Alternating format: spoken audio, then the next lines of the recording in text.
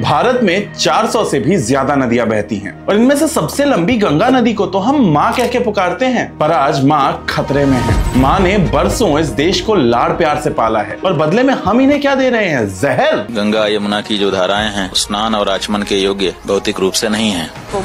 Water, increase in fecal concentration in the water. संगम के पानी में खतरनाक बैक्टीरिया की मात्रा अब गंभीर श्रेणी तक पहुँच चुकी है। स्वागत है आपका हमारे इस नए चैनल पे। जहाँ हम आज चर्चा करेंगे प्रयागराज संगम में चल रहे महाकुंभ की, जिसका पानी नहाना तो दूर, छूने लायक भी नहीं बचा है। तो चलिए शुरू करते हैं।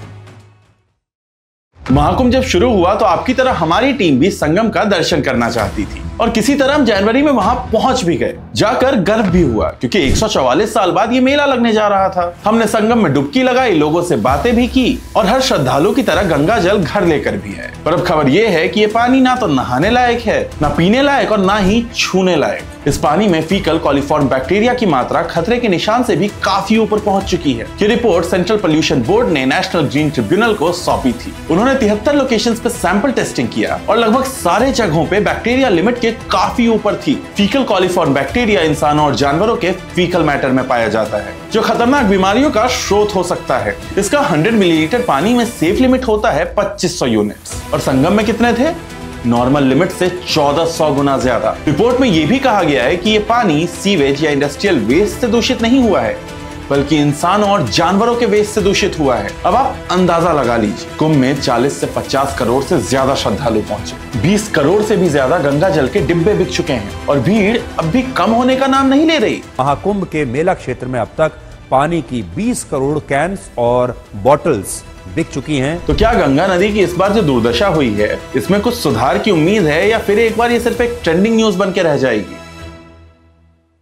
गंगा नदी हमेशा से स्वच्छता अभियान और चुनावों का टारगेट रही है और पिछले 10 साल में ही इस पर चालीस हज़ार करोड़ से ज़्यादा खर्च हो चुके हैं। अब आप खुद देखिए 2014 में बीजेपी सरकार के सबसे बड़े चुनावी वादों में से एक था नमामि गंगे। इस प्लान का अहम हिस्सा था सीवेज इंफ्रास्ट्रक्चर बनाना। जिसका पहले पाँच साल का बजट ही बीस हज़ार करोड़ था। और फिर 2021 में यह प्लान फिर से पाँच साल, यानी 2026 तक एक्सटेंड कर दिया गया, जिसका बजट है बाईस हज़ार पाँच सौ करोड़ रुपए। पिछले साल जून तक की बात करें तो लगभग उनचालीस हज़ार करोड़ रुपए के बजट पे कुछ चार सौ सड़सठ प्रोजेक्ट शुरू किए गए, जिसमें से अब तक कुछ दो सौ बिरानवे प्रोजेक्ट चालू हो चुके हैं। और जहाँ तक सीवेज की बात करें तो गंगा के जितने भी नजदीकी शहर हैं वो सब मिलके कुछ तीन हज़ार मिलियन लीटर सीवेज जनरेट करते हैं, जो हर दिन गंगा में बह जाती है। इसलिए अब नमामि गंगे के तहत सीवेज ट्रीटमेंट प्लान बनाना ही सबसे बड़ा टारगेट है। और इसीलिए बजट का सबसे बड़ा हिस्सा भी इसी को दिया गया है, जो है कुछ बत्तीस हज़ार करोड़ रुपए और 200 सिवरेज इंफ्रास्ट्रक्चर प्रोजेक्ट्स इनमें से अब तक 120 सिवरेज प्रोजेक्ट्स ऑपरेशनल किए गए हैं और ये लगभग 4500 किलोमीटर लंबा नेटवर्क बन चुका है। पर साफ़ सफ़ाई तो एक चैलेंज है ही। पर इससे बड़ा चैलेंज है कि गंगा अब सूख रही है। हाँ सही सुना आपने। रिपोर्ट्स के मुताबिक 2075 तक गंगा का पानी पूरी तरह सूख जाएगा। 2016 में आईआईटी खड़गपुर की टीम ने इस पे एक रिपोर्ट पेश की थी। इसमें कहा गया था कि गंगा नदी ग्राउंड वाटर से पानी खींचने की जगह अपना पानी खो रही है। जो लेवल 1970 में 22 मीटर था, वो 2016 आते आते 18 मीटर हो चुका था। इसके अलावा गंगा प्लेन्स के आसपास जो वेटलैंड्स थे, जैसे कि लेक्स और पोखर, वो भी सूख रहे हैं। ये वेटलैंड्स यूजुअली नदी के पानी को रिचार्ज करने में मदद करते हैं।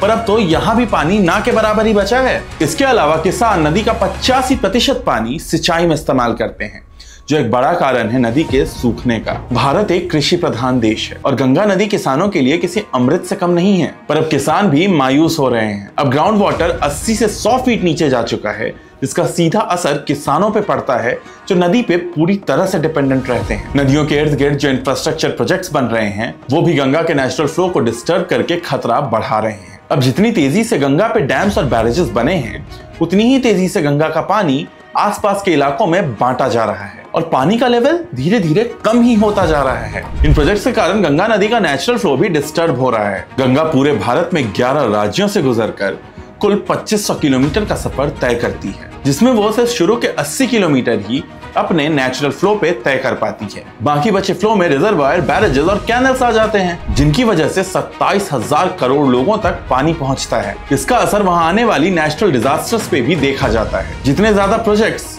उतना ज़्यादा खतरा, न सिर्फ़ वहाँ रहने वालों पे, बल्कि मजदूरों पे भी। जैसे कि 2021 की इस बाढ़ में 200 मजदूरों की जान चली गई थी। और ऐसी खबरें 2013 की केदारनाथ त्रासदी के बाद से और भी ज़्यादा आने लगी हैं। अब ये सवाल सिर्फ़ गंगा के सर्वाइवल तक सीमित नहीं है, बल्कि ये सवाल हमारे सर्वाइवल का भी। और जब माँ कही जाने वाली गंगा नदी का ये हाल है तो बाकी नदियों का क्या हाल होगा? बात सिर्फ़ गंगा पे ही खत्म नहीं होती। इस देश की लगभग तीन सौ इक्यावन नदियाँ पल्यूटेड हैं। और इनमें से तेरह नदियाँ तो सिर्फ़ महाराष्ट्र से ही हैं, लेकिन अभी हम बात करेंगे यमुना की। जिसका ज़िक्र पुरानों से होता आया है। इसके किनारे मथुरा, वृंदावन जैसी पावन जगह भी है और दुनिया का एक वंडर ताजमहल भी इसी के किनारे है। एक समय में अपनी चमचमाती नीले पानी के लिए जाने जाने वाली यमुना अब महज एक नाला बन के रह गई है। खास करके जब ये देश की राजधानी दिल्ली में एंट्री लेती है। इस वीडियो में दिखाई गई इस चीज़ को बादल समझ के डील बनाते लोगों को ये नहीं पता है कि ये यमुना के पॉल्यूशन की वजह से उपजा हुआ टॉक्सिक फोम है। इसको साफ़ करने के लिए पिछले 32 साल में सात हज़ार करोड़ रुपए खर्च हो चुके हैं। और इन 32 सालों के बाद हमारे हाथ अब क्या लगा है? लगभग 80 लाख यूनिट फीकल बैक्टीरिया, जो कि जानलेवा है। और हाँ ज़ीरो ऑक्सीजन, यानी इस पानी में कोई भी मरीन लाइफ अब जीवित नहीं है। यमुना नदी दिल्ली में कुल 22 किलोमीटर का सफ़र तय करती है। जो उसके पूरे सफ़र का महज दो प्रतिशत है। तो इन 22 किलोमीटर में यमुना के साथ होता क्या है? तो बात यह है कि इस नदी में 80 परसेंट पोल्यूशन सिर्फ़ दिल्ली से होता है। चाहे वो इंडस्ट्रियल वेस्ट हो सीवेज का अनट्रीटेड पानी हो, या एनिमल और ह्यूमन वेस्ट हो। इस नदी में सब कुछ बिल्कुल ओपनली बहाया जाता है। सीवेज की बात करें तो यमुना में हर दिन लगभग 80 करोड़ लीटर सीवेज बहाया जाता है। मतलब इस पानी में किसी तरह के जीव के होने की गुंजाइश तो आप छोड़ ही दीजिए। इस पानी से आप हाथ भी नहीं धो सकते। जमुना का ये हाल हो चुका है ना लोग यहाँ पे अस्थि डालना भी हो समझ लो। एक अपने आप को बहुत बड़ी बात है कि अस्थि यहाँ डाल भी ले वो उंगली तक नहीं डालते इसके अंदर। अस्थि विसर्जन करने के लिए कहते भाई हम तो गड़गंगा जाएँगे हर जमुना में डालें क्यों डालें? भाई जमुना तो थोड़ी ये नाला हो। यमुना नदी दिल्ली की 70 प्रतिशत वाटर डिमांड्स पूरी करती है। और इस नदी पे कुल छह करोड़ लोग डिपेंडेंट हैं। इनमें बिहार, बंगाल से आए हुए मछुआरे भी शामिल हैं, जो कि 50-60 के दशक में यहाँ पे पलायन करके आ गए थे। और अब तो ना इनके लिए शुद्ध पानी बचा, ना मछलियाँ। और बार बार यही सवाल उठता है कि यमुना हर बार देश की राजधानी में आके ही इतनी मैली कैसे हो जाती है? इसका एक बहुत बड़ा कारण है हरियाणा दिल्ली बॉर्डर पे सिचुएटेड वजीराबाद बराज जहाँ इस पानी को पूरी दिल्ली में डिस्ट्रीब्यूट किया जाता है। पर इसके बाद आता है नजफगढ़ नाला।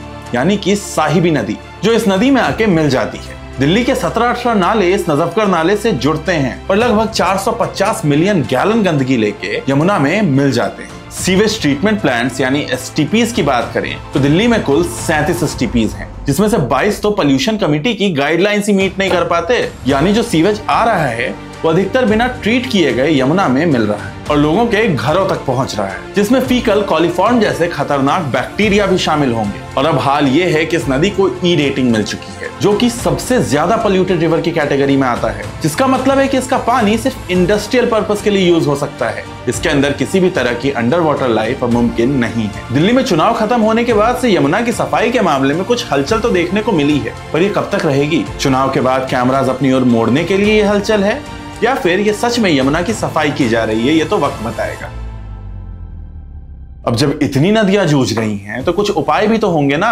हाँ उपाय हैं। पहला तो एस सेटअप करने ज़रूरी है, जो कि फंक्शनल हो, क्योंकि आप जितना भी कचरा साफ़ कर लो, अगर दूसरी तरफ़ से कचरा अनट्रीटेड पानी में ही डाला जा रहा हो तो फिर क्या फ़ायदा? दूसरा, जो इंडस्ट्रियल और रेजिडेंशियल कचरा है, उसका डंपिंग ग्राउंड एक लैंडफिल ग्राउंड होना चाहिए नदी के बजाय। हालाँकि इससे भी लैंड पोल्यूशन तो होगा ही। पर कम से कम आपकी यमुना तो साफ़ रहेगी। और सरकार द्वारा जो इंक्रोचमेंट्स हैं डैम्स और बैरेजेस बनाने के लिए, वो भी काफ़ी चिंताजनक हैं। और ये आप वजीराबाद में देख सकते हैं। खैर, नदी के साफ़ करने के एग्जाम्पल्स की बात करें तो चलिए आपको लेके चलते हैं साबरमती नदी। इसका हाल भी कुछ यमुना के जैसा ही था सत्तर अस्सी साल पहले। यहाँ 1880 में पहला ब्रिज बना, फिर साबरमती आश्रम बना। और 1980 आते आते यहाँ पे कमर्शियल सेक्टर्स खुल गए। घर बनने लगे और प्रदूषण चरम पे था। और आखिरकार 2003 में इसको साफ़ करने का प्रोजेक्ट शुरू कर ही दिया गया। इसके तहत उस नदी के दोनों तरफ़ ग्राउंड लेवल को ऊँचा किया गया। 2006 में यहाँ अंबेडकर ब्रिज बनाया गया और 2010 तक लगभग दस हज़ार परिवारों को रिसेटल कर दिया गया। वो ये सारे परिवार थे जो इस प्रोजेक्ट की वजह से बेघर हुए थे। अब साबरमती इतनी साफ़ है की गुजरात सरकार चाह रही है कि साबरमती अपना रेवेन्यू खुद जनरेट करे और आत्मनिर्भर बने। इसलिए यहाँ वाटर स्पोर्ट्स और एमपी थिएटर जैसी सुविधाएँ दे दी गई। इसके अलावा साबरमती पे बनाया गया रिवर फ्रंट प्रोजेक्ट सक्सेसफुल था। इसकी देखा देखी यमुना के लिए भी सेम प्लान बनाने की बात चल रही। है इसके अलावा इंग्लैंड की थेम्स नदी को दुनिया की सबसे साफ़ नदी बनने में सिर्फ़ 60 साल लगे, जब उन्नीस में इसे बायोलॉजिकली डेड करार कर दिया गया था। इसको साफ़ करने के लिए एस बनाए गए और इंडस्ट्रियल वेस्ट को कंट्रोल किया गया। और आखिरकार कहा जा रहा है कि यहाँ माइग्रेटरी बर्ड्स भी वापस आ रही हैं। यानी ये नदी अब वापस से ज़िंदा हो रही है। मॉडल्स तो बहुत मिलेंगे जिन्हें हम फॉलो कर सकते हैं। पर जमीनी तौर पे ये हमारी ही ज़िम्मेदारी बनती है। पर अगर आपने लॉकडाउन में देखा होगा तो सारी नदियाँ एकदम साफ़ हो चुकी थी। क्योंकि सारे फैक्ट्रीज ठप थे तो नदी सारा कचरा खुद ही बहा के ले गई और शुद्ध हो गई। अर्थ खुद को हील करने के लिए बहुत काबिल है। इंसानों की ज़रूरत तो है भी नहीं। पर हम कहा मानने वाले? हम भी तो यही हैं। इसीलिए बैलेंस लाना हमारे लिए मुश्किल हो रहा है। चाहे वो स्ट्रिक्ट इन्वायरमेंटल लॉज हो, जो कि इंडस्ट्रियल वेस्ट डंपिंग को रोक सकें, या फिर हमारी ओर से बायोडिग्रेडेबल चीज़ें अडॉप्ट करने की बात हो। बदलाव तो हमसे ही शुरू होगा ना? हमें दूसरे देशों से भी सीखने की ज़रूरत है। वियतनाम, इंडोनेशिया जैसे देश एडवांस रिवर क्लीनिंग टेक्नोलॉजी का इस्तेमाल कर रहे हैं। भारत में भी ग्राउंड लेवल पे क्लीनिंग प्रोजेक्ट शुरू करने की ज़रूरत है, जिसमें लोकल यूथ और एनजीओ शामिल हो सके। एक और कदम जो डिस्कस हो रहा है वो है गंगा यमुना को लीगल ह्यूमन राइट्स देने का। इसका मतलब यदि कोई भी व्यक्ति नदी का शोषण करते पाया गया तो उस पर केस हो सकता है।